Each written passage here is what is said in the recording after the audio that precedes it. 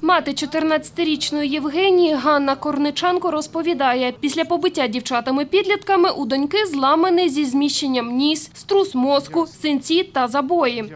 Вона неділю, я ж говорю, вона взагалі не, вставала, вона просто спала. У неї боліло все тіло, у неї боліли почки. У нее очень сильно болела правая ключица, она руку не могла ни поднять, ни опустить. Жінка каже, побили доньку та двох її подруг ввечері 22 листопада на спортивному майданчику 12-ї Запорізької школи. Це відео виклали в інтернеті. Завтра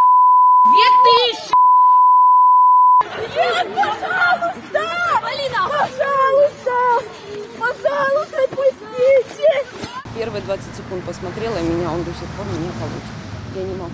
Я просто как услышала, в какой истерике мой ребенок рыдает, плачет. Знала Я об этом на работе, так как она была у папы в этот момент.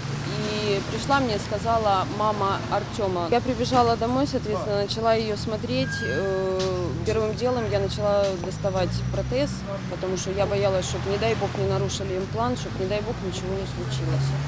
Потом уже поехали обследовать полностью ее дальше. На сотрясение мозга мы делали эхо. 6 грудня під час моніторингу мережі інтернет на одному з запорізьких пабликів було виявлено відео, на якому кілька дівчат наносять тілесні ушкодження трьом школяркам та вимагають перевести гроші на їхню банківську картку. Попередньо події кваліфікували за статтею 125 Кримінального кодексу України.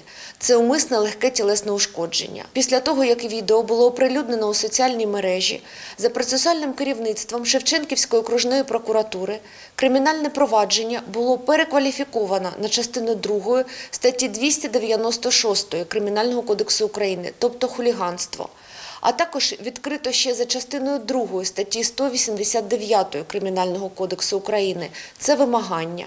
Били школярок четверо дівчат віком від 15 до 16 років, сказала речниця Нацполіції в області Олена Лебединська. Причиною конфлікту був телефон, каже Ганна Корниченко.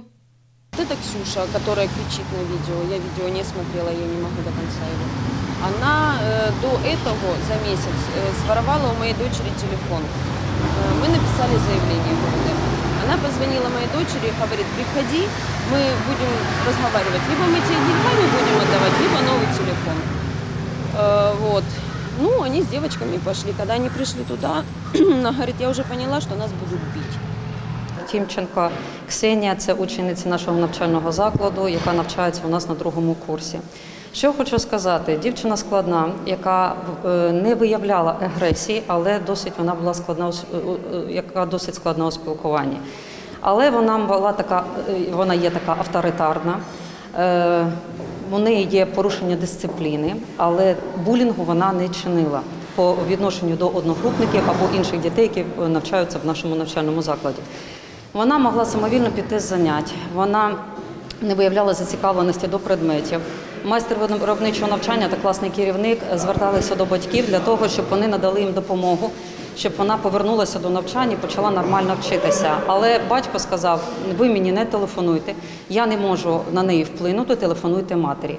Матер також відповіла, що вона на впливу на доньку не має і більше після цього слухавки не брала. Зараз ми співпрацюємо з правоохоронними органами. Ми підготували Ми підготували характеристику на цю дівчину.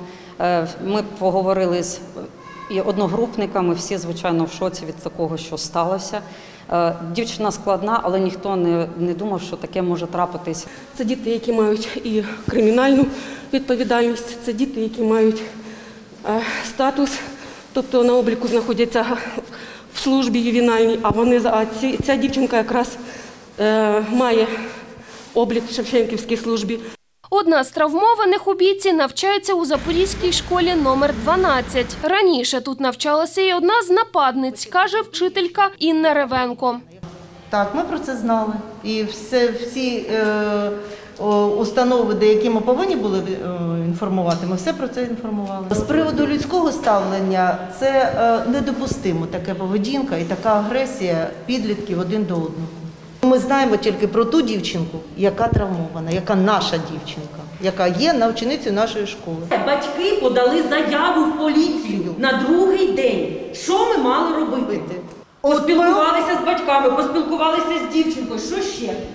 Батьки однієї з дівчат, яка брала участь у побитті школярок, зв'язувалися з Ганною Корниченко. Мама звонила день с воплями, с криками. Мой ребенок не мог этого сделать. Это не мой ребенок. Папа звонил через два дня. Э, Но я так понимаю, он э, находится в Польше на заработках. Он, я приеду в декабре, и я вам денег дам. И началось э, не здравствуйте, а началось, начался разговор, а вы знаете, что такое клевета и, как же он сказал, дача ложных показаний. Если вы заберете заявление, я приеду в конце декабря и помогу вам пару тысяч дам на расход. Вот так он мне сказал.